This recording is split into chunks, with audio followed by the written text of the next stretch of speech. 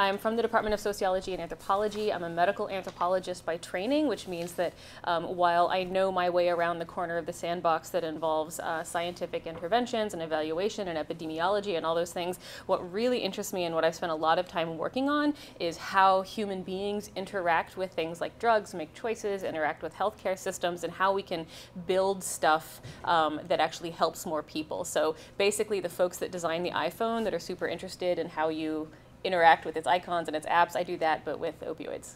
If that makes sense, right?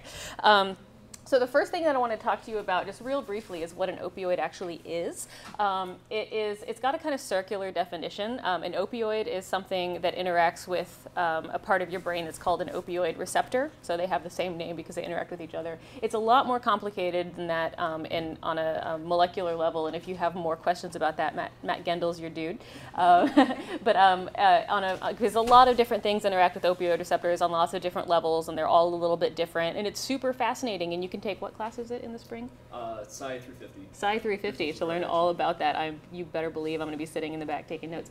Um, but uh, opioids that you may have come across, they have a whole bunch of different names. Um, morphine is the sort of classic uh, opioid that comes, um, or opiate, means meaning it's organic, that comes from the um, the poppy plant. Um, heroin um, I've mentioned that it's called diacetylmorphine because heroin and morphine are really, really similar. They're almost exactly the same molecule. Um, a lot of people don't know that. Um, oxycodone, brand name OxyContin, hydrocodone, brand name Vicodin, codeine, methadone, fentanyl, Percocet.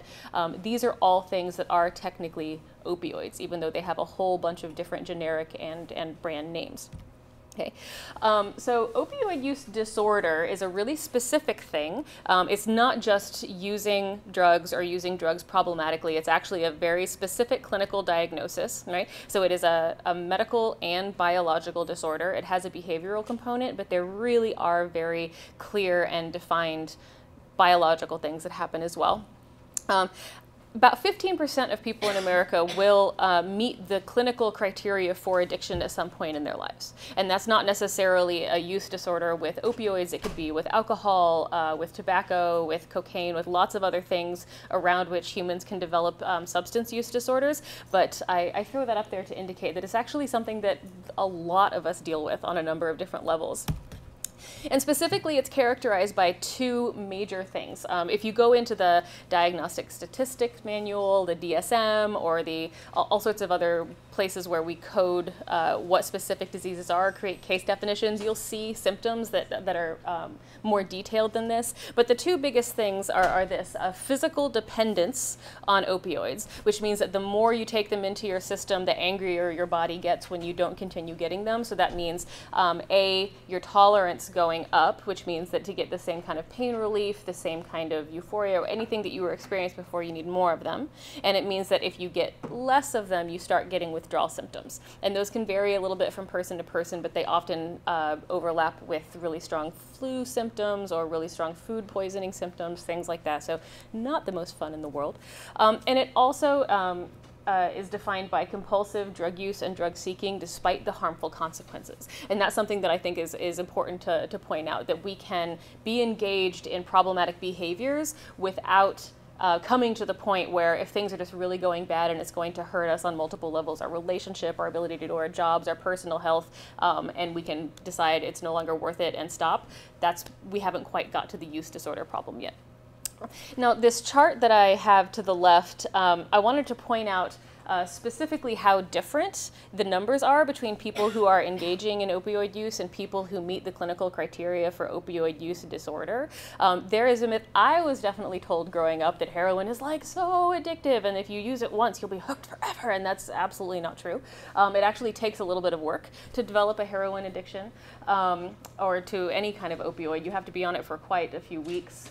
And this is, these are numbers from 2015 from a national survey that was conducted by SAMHSA, the um, Substance Abuse and Mental Health um, uh, Services Administration, part of the US government.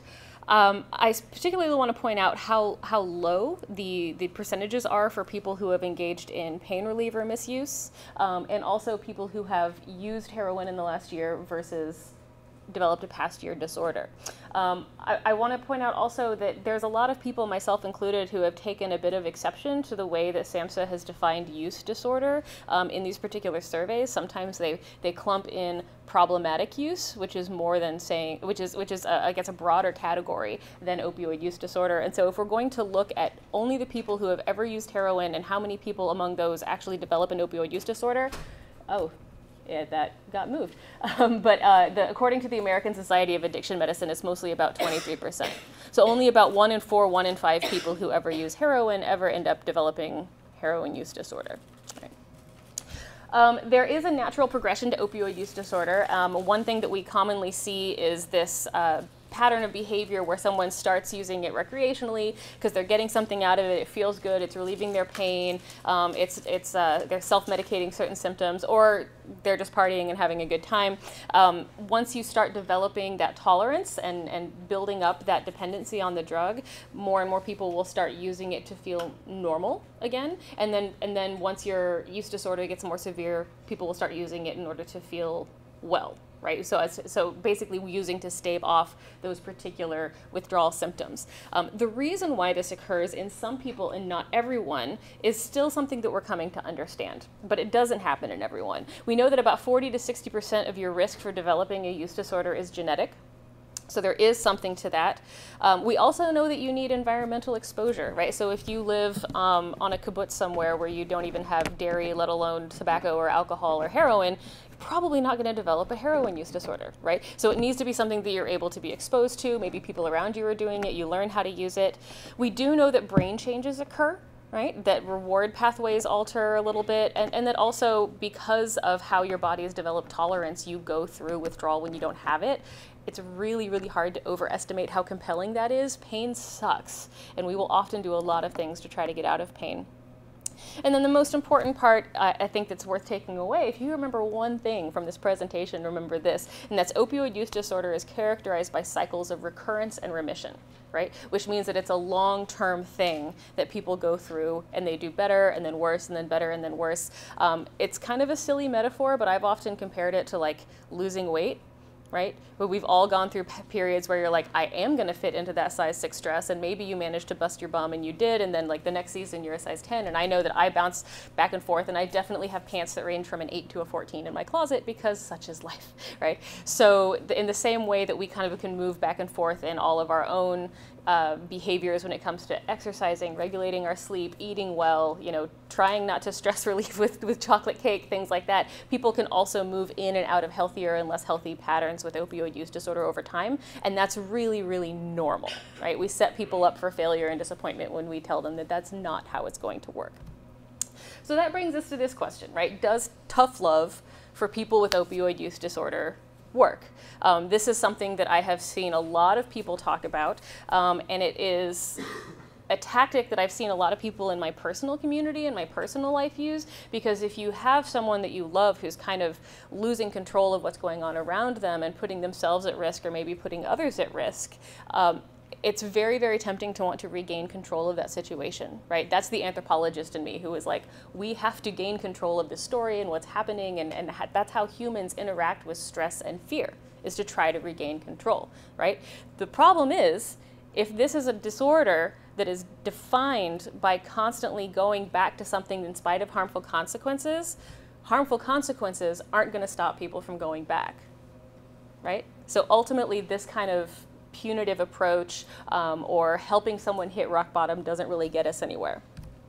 Fortunately, we have things that do work really, really well, right? Um, and uh, and I, I wanted to mention this specifically because I know a lot of people that I talk to, you guys might have heard about this before. This might be something you're familiar with. Maybe um, a friend or a teacher or some other class you're in has talked about it. But very few people, especially adults that I know, are aware of how effective medications are at treating opioid use disorder.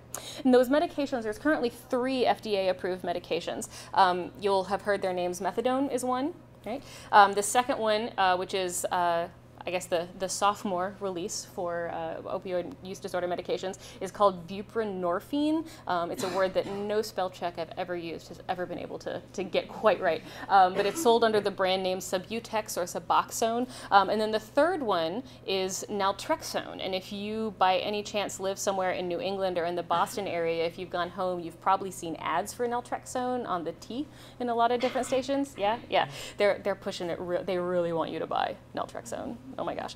Um, so these aren't the same drug, right? They're not all appropriate for everybody. Every human is different. Every physical body is different. Every opioid use disorder is a little bit different. Um, but we do know that these drugs really help people stay stable. They really are effective at preventing death. That's the thing that I find super, super compelling, right? And so this is a chart that is actually from uh, Baltimore, but it's true on so many scales. The red line is the number of heroin overdoses that were being experienced in the area. Um, the dotted line is buprenorphine patients, and, and, as I mentioned, that became available um, more more recently than methadone, so it only started around 2002-03.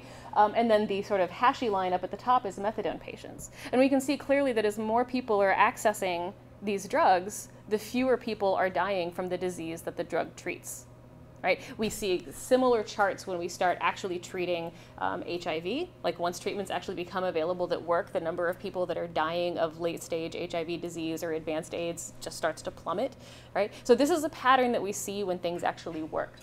The challenge is, is that a lot of folks um, grow up with this idea that being clean is what's really the thing that should be sought after. Um, again, as an anthropologist, I'm like, well, what does clean mean? And who gets to define what clean is and what was dirty? Was it you? Was it the drug? Uh, it's a narrative, right? But the narrative actually doesn't really hold up to scientific scrutiny. We're told that narrative a lot. And I don't know if you guys are watching season 14 of Grey's Anatomy, but I want to throw my shoe at the screen like every single time they take that teenager to another NA meeting. I'm like, just give her medication. You're a doctor. Um, but, uh, but this stuff is really, really effective. The problem is it can be sometimes kind of hard to um, to access for a lot of different reasons, but it's very, very effective. And here's part of the reason uh, why it's particularly effective for treating this long-term disorder. Okay? Um, on the left is uh, the way in which people tend to present symptoms of hypertension or high blood pressure, right? So before they get on treatment, their symptoms are really strong, blood pressure all over the place, experiencing all the symptoms and health risks of that. Once they're on treatment, things kind of stabilize and it manages to, to keep them at a stable level. After treatment, things aren't as bad as they were, but they still can get worse. And it's the same with opioid use disorder, right? So medications, methadones, buprenorphines, suboxones are not things that you kind of go on like antibiotics on for two weeks, off for two weeks. It's a long term thing because you're now living in a body that has this really strongly developed opioid dependence. And you can be on methadone and on buprenorphine for a really long time and be very healthy, very happy, very safe, very free from risk of death and overdose. In fact, buprenorphine is the gold standard right now of treatment for pregnant women with opioid use disorder right? Super, super safe, but takes a long period of time. Speaking of relapse and cycles of recurrence, um, this is from the same JAMA article. Um, but if we look at the rates of what we call relapse or recurrence of symptoms in people who are um, being treated for type 1 diabetes, we see that relapse and recurrence in about 30 to 50% of people. In hypertension and in asthma, it's 50 to 70%. I have asthma, so I am living proof that this is real, right? And with substance use disorders, it's somewhere in between. So it's really very, very similar the way it presents to so many other chronic diseases. It's just as treatable as other chronic diseases, but we have these social narratives that tell us otherwise. Overdoses are something that a lot of people are experiencing. I've actually spent a lot of time doing ethnography in hospitals and ERs, talking to people after they have experienced an accidental overdose and thankfully gotten there. Someone called 911, there was a response, their, their overdose was reversed, and now they're fine, right? And about half of those people who were in there were really. Um, I, would call them regular users, whether or not they actually have an opioid use disorder is something a doctor would have to diagnose properly um, and assess what what sort of services or treatments best for them. But about half the people are what public health folks call intermittent users, right? So folks who decided to go to a party on the weekend and had something offered to them. Um, someone who was like, wow, I haven't used heroin since the 80s, but it just seemed like that kind of Friday, so I was going to do it. Or someone who is like, that is the last time I tell Jeremy he knows how to treat my migraine. You know, all, all sorts of things that have people who aren't really familiar with these drugs interacting with them and then having something happen. So part of the reason why overdoses happen is because opioids depress the central nervous system, right? That means it takes all of the things that, that down regulate in your body, that like slow your heart rate down or slow your breathing down, maybe after you've trucked up a flight of stairs or something that settles you back down and it really really pumps up their ability to do that so it's super turning down your heart rate super turning down your respiratory rate things like that um, a, a short way or a metaphorical way to put it is that it turns off the parts of your brain that give you anxiety which is one of those reasons why people might turn to heroin if they don't have uh, really good access to mental health care. So that can be a short term gain. But then, slightly longer than short term and even long term, it can turn down the parts of your brain that keep you awake and then turn down the parts of the brain that keep you breathing. And you're not awake to be like, oh no, I'm not breathing. Okay, so that's how overdoses tend to happen. And so overall, those overdoses happen when those vital brain functions slow down so much that you're not breathing at all and not pulling in enough oxygen. Right. So how much is too much? How does one get to the point of accidentally overdosing, right? Because I, I, would be willing to believe that the vast majority of you have sprained an ankle, broken an arm, has your, had your wisdom teeth out, had some Vicodin from your doctor, took it to relieve pain, and you went on with your life and were perfectly fine, right? So how do we go from that to a place where someone's actually at risk of death? Well, the first question is how strong are the opioids in your body? I gave you a list of names that you might recognize either from street drugs or prescription drugs, things like that at the beginning. Those aren't the same molecules at all. And in fact, opioids can be 100 times stronger or weaker than each other. And, and also the strength of those opioids can vary based on how you put it in your body. Are you snorting it? Are you injecting it? Are you transdermally um, taking it in like through a fentanyl patch? Um, all sorts of things. So it really, really, really, really varies. Um, the other question is how low is your opioid tolerance? Right? So one person's this isn't too strong of a dose isn't someone else's this isn't too strong of a dose, right? So even if you used to take opioids a lot, so if we have someone who was engaging in opioid misuse or recreational opioid use a lot, if you stop for a while, your tolerance can drop a ton.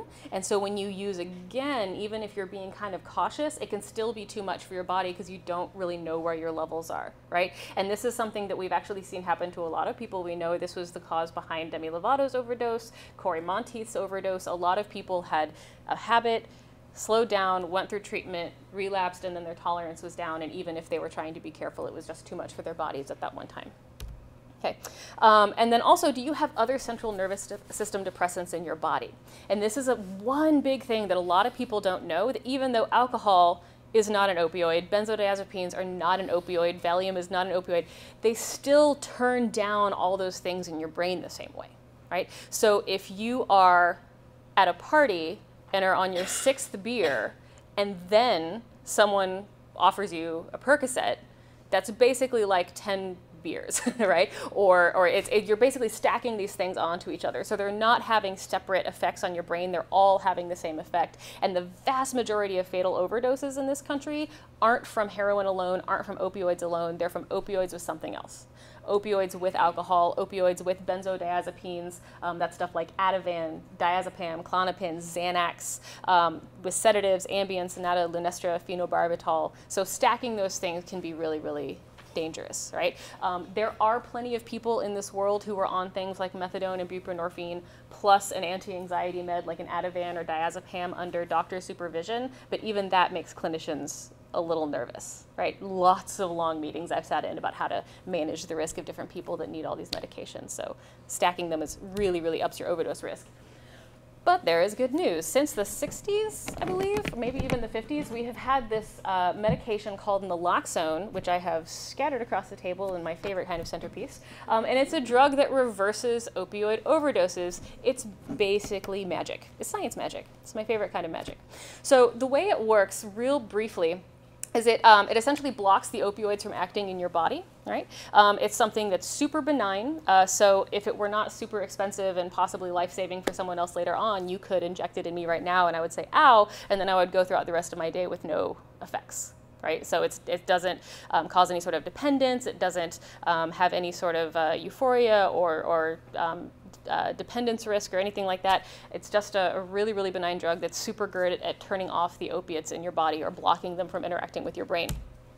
So there's a few different um, ways that it is made available. In order from least expensive to most expensive, the least expensive stuff is this liquid that you inject into someone's muscle. And I have this because this is the kind that is distributed by local needle exchanges. Yes, every single syringe exchange in North Carolina passes this stuff out and they can train you how to use it. It comes with some syringes. If you're diabetic, if you're someone who has allergy shots, or if you um, have a history of injection and you are comfortable with syringes, this is probably the way to go because you know your way around that, right? Um, these uh, aren't too, too expensive. We also have this, the Afrin spray of naloxone, which is super easy. It's more expensive because capitalism. Um, but it's the exact same drug, works the exact same way, and you literally just shove it up someone's nose. This stuff you can actually buy over the counter at CVS or Walgreens. Um, it's not cheap, but your health insurance might cover it. And if your health insurance won't cover it when you just show up and say, I want this, your doctor might be able to prescribe it for you. Right? Um, there's a third way that is basically uh, an auto injector, like an EpiPen that talks to you. Um, it's super cool. You like pull out the tab and it's all like, someone is overdosing. Do not panic. Put this on their thigh. Call 911. It works really well. I've seen people um, or talked to people who have used it uh, after an overdose and they had no training whatsoever, and they were like, they totally walked me through it, and now my boyfriend is fine. Right? Those things cost more than my car because capitalism, but you can have them prescribed to you and they are around. Um, they're pretty, pretty easy to get. So as I said before, naloxone essentially blocks those opioid receptors, right? So it sits really, really, really hard and hangs on tight to the same receptors that opioids are trying to activate in your brain to turn down all of those central nervous system activities of like staying awake, breathing, heart beating, all that sort of stuff. And it just sits on there and doesn't do anything. So you can think of it like an opioid receptor condom in a way, right? It doesn't stay in your body exactly as long as the opioids, but it's usually enough to help you get through the hump while your liver is sort of pulling everything out of your body. It's really, really, really effective. And I want to make you aware uh, that Elon University Police, Burlington Police, every single ambulance ever, um, hospitals and ERs, and most fire departments carry naloxone right? Um, you can get some from your doctor by prescription, any commercial pharmacy, or any North Carolina syringe exchange. Okay? And and just keep it in the back of your minds. I know some of the folks that are going after me are going to mention this, um, but really strong opiates for reasons that we're not really clear about, and I'm studying as fast as I can, but I'm just one person. Um, fentanyl, a really really strong synthetic opioid, is turning up in cocaine supplies in the U.S. It's definitely in some cocaine supplies in North Carolina, right? So even if snorting Percocets on the weekend is not your jam, which is not something I recommend because there's a lot of Tylenol in there and that will hurt you. Um, cocaine can lead to an opioid overdose if there's opioids in the cocaine, right? So the same way that you were taught in Girl Scouts, if you get a tick bite, just keep it in the back of your mind. If you start having fatigue six months later, you might have Lyme disease, and mention that to your doctor if you or anyone you know is interacting with cocaine or a drug in which opioids have no business being there, and then someone loses consciousness and has trouble breathing, keep that in the back of your mind. There's a non zero possibility it might be an opioid overdose, and all of these folks carry it and are minutes away from you. I'm around to answer any questions after the fact as well. Um, and like I said, I, as Carmen mentioned, I'm in the sociology department. I'm the only Jennifer there. If you have any questions, please come hunt me down. I'm happy to talk to you. So, my position as a HIDTA public health analyst for the state supports three of the seven strategies, including creating a coordinated infrastructure, reducing diversion and flow of illicit drugs, and increasing community awareness. So, HIDTA, as was mentioned earlier, stands for the High Intensity Drug Trafficking Areas Program, it is a national program that provides assistance to federal, state, local, and tribal law enforcement agencies operating in areas determined to be critical drug trafficking regions. The opioid response strategy is an initiative currently being implemented in 22 of the HIDTA states. The overall goal of this initiative is to reduce non fatal and fatal overdose incidents by developing and sharing information about heroin and other opioids across agencies. This ties in with creating a coordinated infrastructure of the state action plan. The HIDTA program has also has hired a public health analyst as well as a drug intelligence officer that work collaboratively to increase interagency communication, data flow, and intelligence sharing.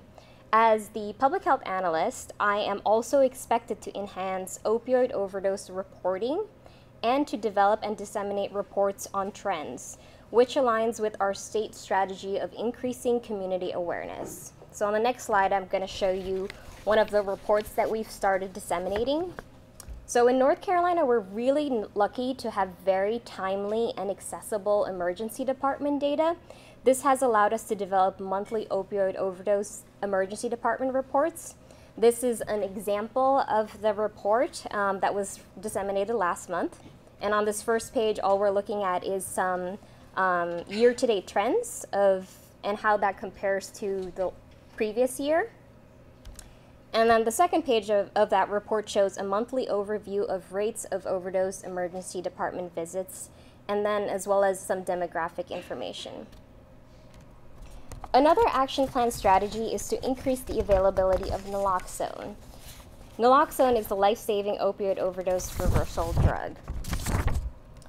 So for this strategy, we partner with North Carolina's Harm Reduction Coalition they implement harm reduction strategies such as distributing overdose rescue kits. Since August of 2013, they have distributed 80,000 kits. And as, as of October 1st of this year, there have been 12,000 overdose reversals reported. So the darker shaded counties on this map show more um, reversals being reported. Another statewide strategy is to expand treatment access and recovery support. Syringe exchange programs are one of the most effective public health interventions for decreasing the transmission rates of HIV and other bloodborne diseases such as hepatitis C. It is also a way of connecting users to treatment. While it is common, while it is a common myth that syringe exchange programs encourage or enable drug use, decades of research show that syringe exchange programs do none of those. In fact, many studies demonstrate that syringe exchange programs decrease drug use by connecting otherwise marginalized people to treatment. It is estimated that syringe exchange programs participants are five times more likely to enter drug treatment than non participants. So, this map is showing counties with syringe exchange programs in North Carolina. We, we currently have 32, 32 active programs serving 38 North Carolina counties. So I've listed a few ways we're addressing the opioid action plan, um, but how do we know we're making an impact? So the state has proposed to follow 13 metrics and has also developed a dashboard to track these metrics. So I know this is probably difficult to read, but here we have listed the 13 metrics and they are divided into five overall goals. For example, reducing opioid related deaths and ED visits, by which we are measuring or tracking the number of deaths and the number of ED visits. Another example is increasing access to naloxone, by which we are tracking the number of EMS naloxone administrations as well as the number of community naloxone reversals. So, this is actually a screenshot of our opioid uh, dashboard. Um, and in this example, I've selected Guilford because I mistakenly thought that Elon was at Guilford.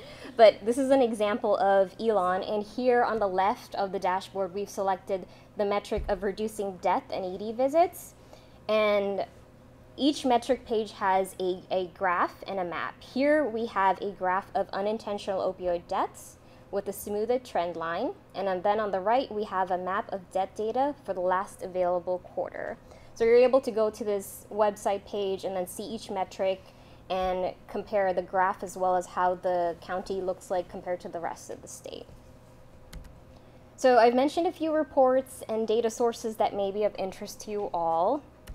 The Injury and Violence Prevention Branch at the Division of Public Health has an injury-free NC poisoning data page that contains all of our po poisoning related products, which includes the monthly emergency department data report, some fact sheets, as well as a link to the action plan dashboard. So I know we've condensed a lot of information in a very short period of time, and we generally hope to provide some context of the opioid epidemic in North Carolina, what the state is currently doing, and what resources are available to you. So I wanted to leave you with North Carolina has achieved some success, but we have more work to do, and overdose death is preventable. Thank you. We'd like to hear from you what sort of questions you have, and they could be very specific about a particular drug, specific health related questions about how to identify or respond to an overdose, or broad policy based questions. I mean, anything is fair game. So just raise your hand and I can call on you. I know sometimes that um, if like a mother who's carrying a child gives birth and they're like addicted to a substance, that the child would be born addicted. Do you use these kind of drugs to help them?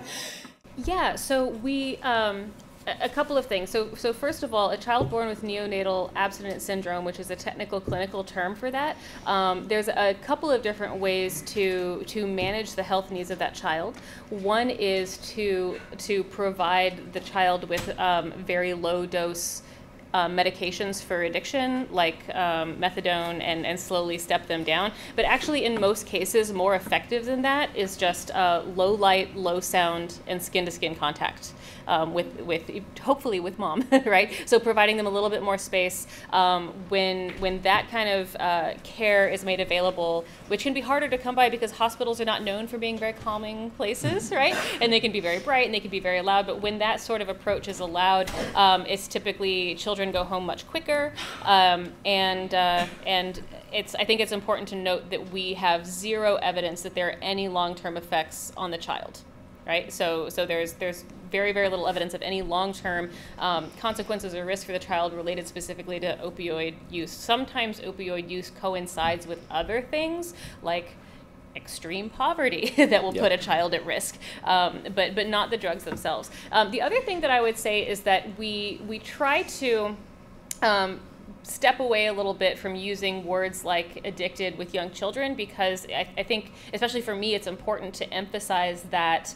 Um, addiction or substance use disorder is a behavioral disorder and if you're two days old you can't have a behavioral disorder so the children can be born with um, an opioid uh, dependence but but not with an actual addiction or use disorder um, and part of the reason why I, I mention that is because not all NAS cases are bad and unwanted cases. Um, as I mentioned, buprenorphine right now, which is an opiate, uh, or opioid, excuse me. I I don't know if we have scientists in the room who just got mad at me when I said that. Um, but uh, uh, it is an opioid, and that is the gold standard treatment for people who are pregnant and about to give birth. Um, it's really effective at like helping people just stay level, um, keeping their body from fluctuating all over the place. Um, it helps you do your laundry. It helps you get to bed when you need to get to bed and get up when you need to get up and, and live a totally normal, happy, healthy life. Um, so when those parents give birth to a child who and they've been on buprenorphine, that child is going to have neonatal abstinence syndrome, but that is preferable to many, many other things, right? So um, it's there, there's treatments for it. It does involve these some medications sometimes, um, but it's uh, it's it's not the big deal that we make it out to be, Mhm. provided the parent has help. And I would build on that just to say, you know, you may have heard either in the media or just through talking to people in your own life, you know, anecdotal reports about, um, you know, newborns that have been exposed to one or more substances and are having all these significant developmental disabilities or delays or whatnot. That is, in the overwhelming majority of the cases, not due to the drug, but rather issues that happen along with the drug use. So if you think about someone who is is pregnant and is using, you know, cocaine or heroin or is using alcohol excessively, there's a whole lot of other things that are going on in their lives, you know. So they're probably not getting proper nutrition. They're almost certainly don't have access to proper prenatal care. Um, they're probably polydrug users, so they're you know using nicotine and, and other drugs, alcohol perhaps that we know you know have deleterious developmental effects. Nicotine and alcohol, yes. Yeah, for sure, for, especially those two. Um, you know, there may be STD exposure. We know that certain types of STDs can cause developmental disabilities. So there's a, that's just a, a you know heavy metal exposure in the environment, high stress environments. There's a whole laundry list of things, and those things collectively tend to be what contributes to the um, negative developmental outcomes that we see in substance abuse kids. So when you think about a substance uh, exposed infant or child, the conversation that you really need to be having is really one of them effectively being sort of poverty babies. And I, that's not a great term to use, but I think you sort of generally understand what I mean by that, that it's not really a substance use issue, it's a broader sociocultural framework within which the, the child's been developing. it. Yeah, it's also deeply traumatic to be a child or to be any person, but especially a child, and see your family members go to jail all the time. Um, and I would, I would, uh, in my own opinion, um, that is a consequence of substance use that we have artificially created.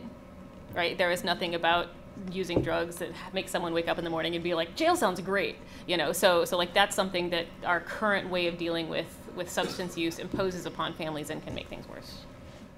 If I could add the local perspective and the practice-based perspective of um, infants being born substance affected, um, there was federal regulation that came down last year called CAPTA that requires uh, a plan of safe care for infants um, who are born substance affected, which then also um, allows them to get into part of uh, the system of programs that allow for us to tackle some of those social determinants of health that you're hearing about, where they're low income or um, poverty tends to be the biggest one. And so um, infants with a substance affected um, screen are then um, alerted to, or we are alerted at both the social services piece and also public health. So then they are all automatically enrolled in um, care coordination for children um, to those wraparound services. Yeah. Uh, so I'm not sure if this is like relevant to opioids, opioids, but uh, I have a friend who takes an antidepressant, and they sometimes will wash it down with alcohol or drink like shortly after taking it, and I'm not sure if I should tell them to stop that. I, I would encourage them to not do that. um, and and, and the, the principal reason for that is, you know, and I, I don't want to try to get into specific interactions that may be occurring or may not be occurring, but I think the broader rule here is one of the things that we know about um, psychological disorders of pretty much all types, anything that, that would you know, sort of fall under the, the framework of typical clinical disorders, so anxiety disorders, mood disorders, thought disorders, eating disorders, all that kind of stuff those things, as, as I think Jennifer mentioned earlier, without fail, all of them have a biological or genetic component to them. But those those genetic components by themselves are not going to manifest the phenotype of the disorder. In other words, like just because you may carry a genetic set around with you, a set of genes that may predispose you to a certain disorder, that doesn't fate you to that. There are environmental triggers that have to be present as well to sort of set that process into motion. And one of the things that has become really clear over several decades of research is that psychoactive drugs of all stripes are really good at acting as those environmental triggers to set off pre existing underlying genetic neurobiological stuff that you may be carrying around with you. So, just a common rule of thumb is if, if you are dealing with a clinical disorder um, or you have a strong family history of those clinical disorders, I would stay away from the psychoactive drugs, just like across the board, including alcohol. Um, so, like some of you may have heard you know, there's been research over the years that's tried to link um, thought disorders to marijuana use.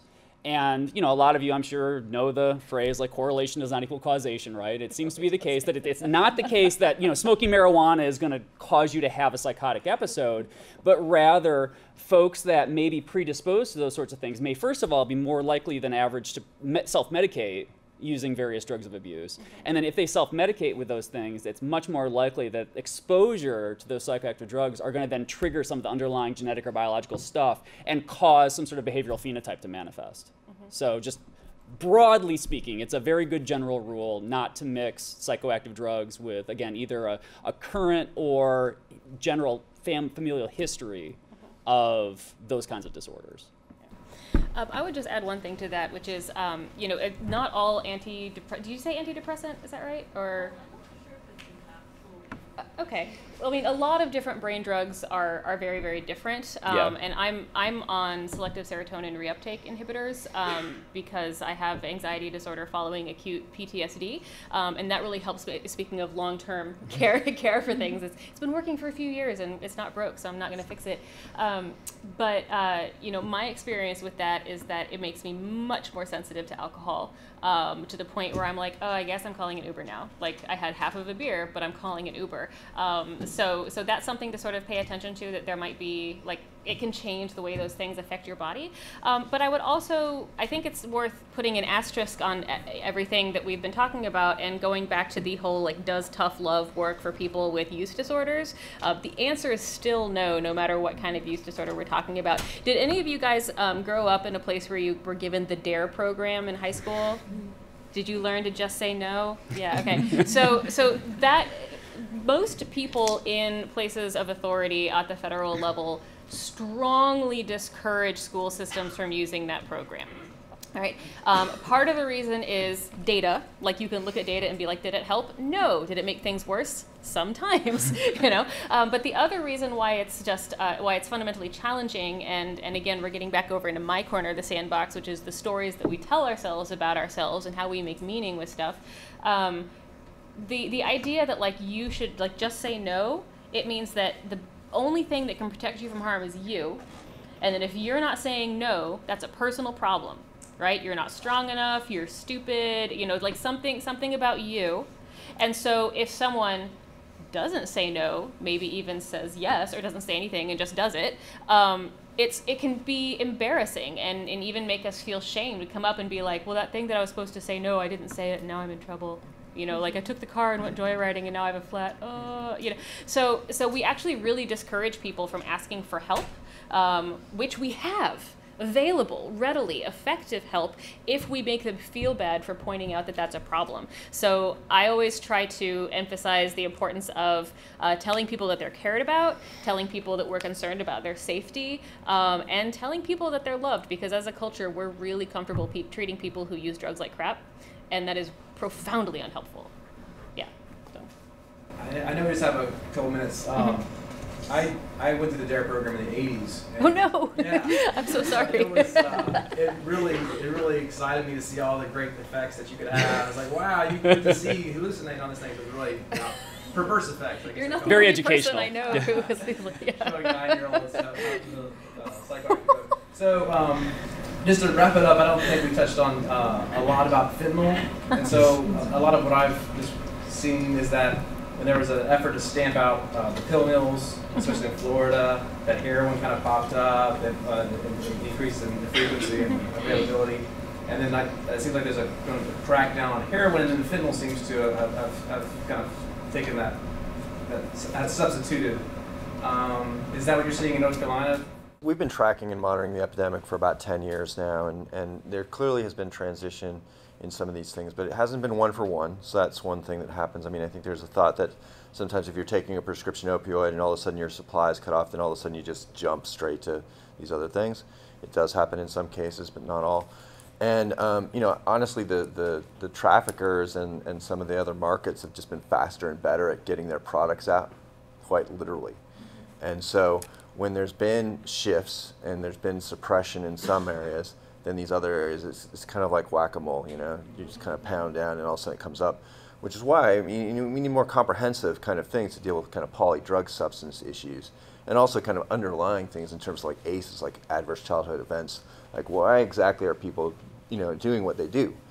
And so, you know, a lot of these things are have underlying traumatic kind of things for, for people who are, who are doing them in some ways. And so that's mostly the case. I think the fentanyl thing is just this incredibly kind of I mean, I think 20 years from now, when we look back on this, it'll it just was a product that was introduced at a very unique time, specific to this to this episode, and you know, and, and people aren't again half of the many users, at least now they do, but when it was first introduced, didn't know that they were what product they were getting, and so there was a lot of people who even people who've been using heroin for years, their supply changed and that supply just had this really um, negative outcome in terms of the overdoses they were experiencing, and, and sometimes their dealer didn't know. Like it's it's a very kind of complex web. So the fentanyl thing has been, and again now it's a little bit uh, as not under, under control is a very wrong word, but I think there's way more awareness about it. You get a lot of people who are very clear about when they use, they don't use alone.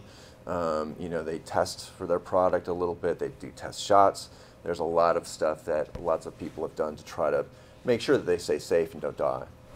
Uh, I was just curious, curious if any of you were aware of like the process that went into creating the drug naloxone. Naloxone. Naloxone. Like the process that went into it, because it seems like a pretty significant drug in its effects.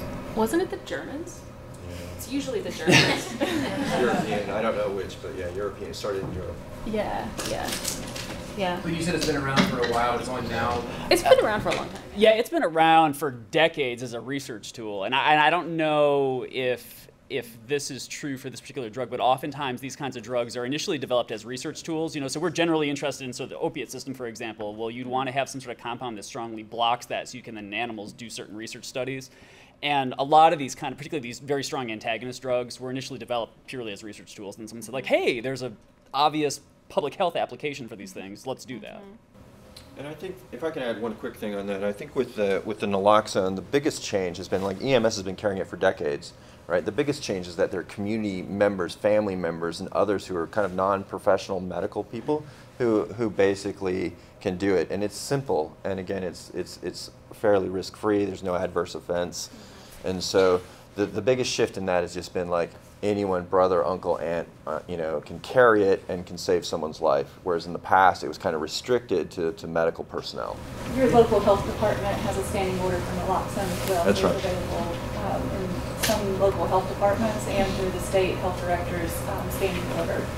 And and what is it, 1,600 pharmacies in North Carolina you can walk into and basically access. Again, not for free there, but you know you can get it if you need It- or you should be able to get it if you need it. And in addition, um, if EMS comes out and we reverse somebody that overdosed on an opioid or an opiate, uh, we leave a kit uh, with some information as well um, with everybody, and that kit's free of charge. Um, I was wondering if there was like a common quality, like regarding treatment of like opioid over- overdoses, of people who don't relapse. So like people who are gone, or people who are like done with using for good. Is there anything that's like kind of like a common denominator? Um, so you're you're saying people that kind of like walk away cold turkey from stuff? Not exactly. Like, what's the most effective, like through research and like Mhm. precedent? Is there anything that like has really helped people like? So I think I, I think I get your question, and I might I would suggest that the reality is actually kind of the reverse of that, in that we have more understanding of the indicators that lead someone to not be able to do that than to do that.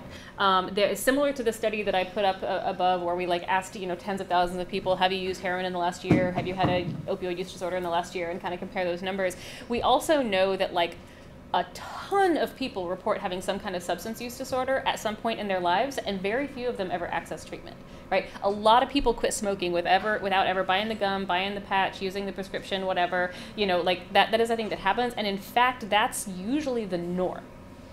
And the people who struggle to get out of that uh, the, that symptomatic place are typically in the minority, and it's those people who desperately need access to these kind of support services and treatment. Um, and, and this has been really similar to my experience with post traumatic stress disorder because, like, if something happens that's awful, like, we all are in a state like we're going to be going through something for a little bit and have lots like our symptoms are going to be really really similar um, but the vast majority of people self-resolve through that for whatever like may- maybe your brain is just really on point maybe you've got really good social support like who knows? But there is this minority of people like yours truly who just like don't do that and don't process through it. And there's a better understanding of why i'm a statistical weirdo than why everyone else is fine. Does that make sense? Yeah. Can um, briefly talk about like the risk of cocaine being like laced with opioids like fentanyl and the implications that would have on a college campus. It's a loaded question. no it's good um, everyone's looking at me okay Well, because you, you know the stats more than I do about you know how how frequently Yeah. you're likely to find something like that. Well, um, so here's a couple of things that I know, and I would I would asterisk all this and say we're still actively learning. Right? We do not. Okay, we know for a fact that fentanyl is showing up in cocaine. We know for a fact that some people are overdosing because they are taking drugs that where opioids have no business being in them, yet there are opioids in them. All right. We know for a fact that some drugs are being sold as counterfeit. So not cocaine necessarily, but like um, you can you can Google this. There was a fake Percocet, I think, yellow bar being sold in Macon, uh, Georgia, a couple years ago, and like you can literally buy pill presses on Amazon that look like kind of like a hinky version of a Xanny bar or a Percocet or whatever you're doing, and you can like put together like arrowroot powder and maltodextrin and then like whatever you want to throw in there and make a pill and then find someone who's willing to pay 30 bucks for that pill so actual counterfeit stuff we know that's happening um, and um, and we also know that it's possible to detect fentanyl in drugs, not the amount of it, but just the sheer yes or no presence, because there is now a technology that's more and more available. You can get it from your needle exchange. Uh, called fentanyl test strips, and it's basically like litmus paper, but for fentanyl. Um, it's not the most intuitive thing to use. It's the opposite of a pregnancy test, so like two lines good, one line awkward. Um, but but y'all are smart and you can figure it out. But you need to be trained how to use it. Um, it's not like I said, it's not the most intuitive things out of the box, but it's really helpful, and that has helped some people identify fentanyl in drugs that it would never have otherwise been in. What we don't know is why fentanyl is ending up in cocaine, right? We don't know consistently if it's being sold as cocaine and there just happens to be fentanyl in it. We don't know if it's being sold as a speedball, sold as a product that has both drugs in it. We don't know if the people selling it know it's in there. We don't know if it's placed deliberately in there or if like people in their work sheds are just really bad chemists. Um, some of the sort of like mid-level processing places where like like if you um, ever read about like major drug busts in the paper where there's some like mid-level supplier, that's often a place where they'll have like 10 Vitamix blenders going on the counter, like p- cutting things and mixing them together. Um, and so I, I don't know, dust flies in the air. So like the, the oh, and I've definitely worked as a barista and made a Thai iced tea with salt instead of sugar before. That has happened to me. So so this could all be accidental. We actually don't really know. So the provenance of it is hard to understand. Um, and we also don't really know how one person's supplier could put you at risk or not. Um, I have, not in North Carolina, but in Rhode Island, I've done a lot of work with people who are buying and selling and using drugs with from each other.